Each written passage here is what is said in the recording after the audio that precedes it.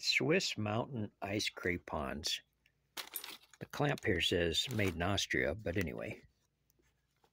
We're not messing around here, folks. Ooh, these are nice. Not excessively sharp, but they're not going to wear out, that's for sure.